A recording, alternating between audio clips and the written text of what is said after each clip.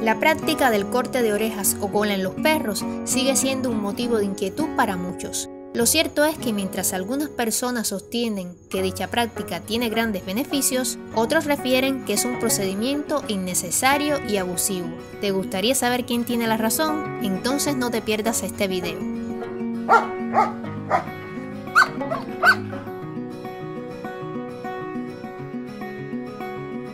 La mutilación de la cola de los perros es conocida como caudectomía, mientras que el corte de las orejas se nombra otectomía. Dichas prácticas se remontan a décadas atrás cuando los cazadores hicieron tendencia a cortar las orejas y la cola de sus perros para evitar que las presas les atacaran en esas zonas del cuerpo. Poco tiempo después, la misma práctica se hizo tradición en los perros guardianes y de pelea, ya que sus dueños trataban de hacer menos accesibles esas partes del cuerpo de los canes durante los enfrentamientos.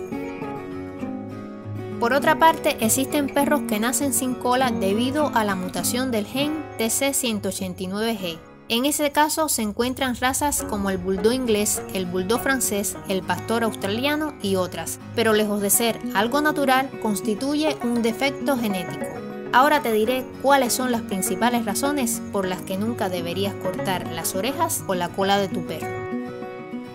Cualquier procedimiento quirúrgico constituye un riesgo tanto en los humanos como en los animales. Y si a eso le sumamos que generalmente el corte de las orejas y de la cola de los perros se hacen cuando son muy pequeñitos, el riesgo es superior, puesto que deben exponerse a los efectos de la anestesia o a sangramientos que muchas veces terminan con la vida del animalito.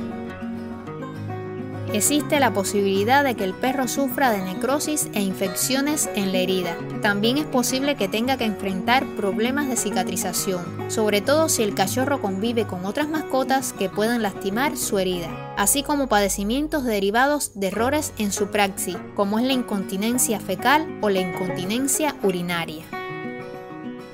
Tanto la cola de tu perro como sus orejas son fundamentales para su comunicación, es decir, los perros hablan con estas zonas de su cuerpo. A través de ellas pueden comunicar alegría, inquietud, tristeza, amenaza, por lo que si se ven privados de ellas quedarán mudos para mostrar sus estados emocionales que son tan importantes para que sean entendidos. Como la cola es la continuación de la columna vertebral del perro, esta funciona como un timón que le permite el control de ciertos movimientos para mantener el equilibrio, por lo que es posible que sin ella el perro sufra de algunos problemas de locomoción.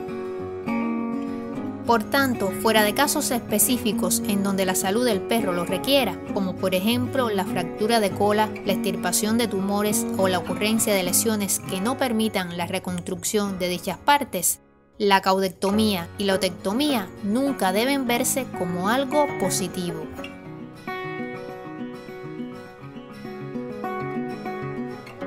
Si te gustó el video no olvides darle like y si todavía no eres parte de nuestra manada, suscríbete a nuestro canal.